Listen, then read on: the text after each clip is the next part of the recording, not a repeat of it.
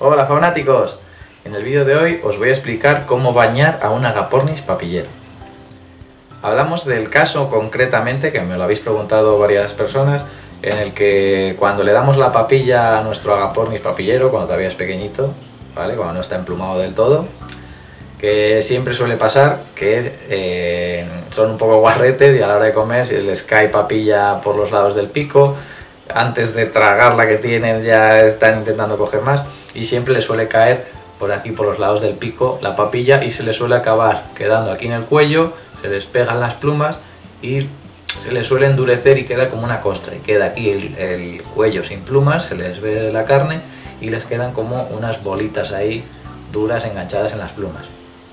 Eh, nos ha pasado, yo creo que a todos los que hemos tenido un agaponis papillero, por lo menos las primeras veces, eh, no pasa nada, ¿vale? Eh, sé que tenéis mucho miedo de mojar a vuestro pájaro porque si coge frío es muy importante la temperatura con ellos, pero lo único que hay que hacer para limpiarles, bueno, por supuesto, si nada más que se manchan se lo limpiamos, pues se va a quitar muy fácil y no vamos a tener problemas. Pero si por lo que sea se nos ha pasado, se les ha quedado ahí pegada y ya se ha hecho un poco dura, en primer lugar podemos probar con el dedo suave, ir tirando suavecito para no arrancarle ninguna pluma, para no hacerle daño y gran parte se puede quitar.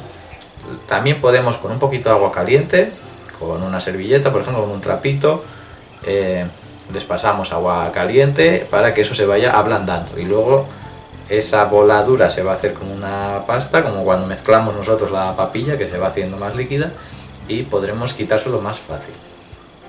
¿Vale?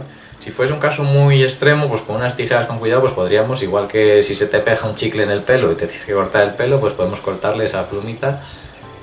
Ya os digo, con mucho cuidado para no hacer nada a él, pero no pasa nada por quitarle esas plumitas de ahí.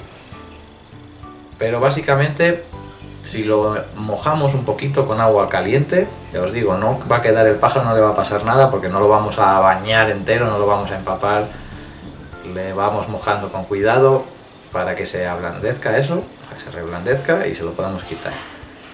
Esto suele pasar sobre todo cuando tenemos un pájaro papillero. Si tenemos dos o más, pues eh, siempre suelen picotear la papilla que le queda al otro por el cuello y demás y entre ellos se limpian eh, nada más que les hemos dejado de dar la papilla a nosotros. Suelen quedar limpitos, si no es mucha papilla que les ha quedado, claro. Pero suelen más o menos limpiarse entre ellos.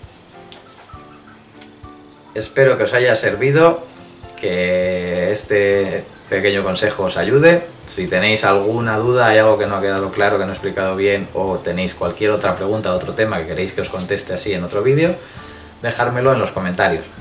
Un saludo faunático. Muchas gracias por ver este vídeo. Si te ha gustado el canal, dale al botón de suscribirte para poder ver más vídeos sobre animales. Y después puedes darle también a este vídeo que dice YouTube que es el que más te va a gustar. Pero venga, hazlo rápido, rápido, rápido, rápido.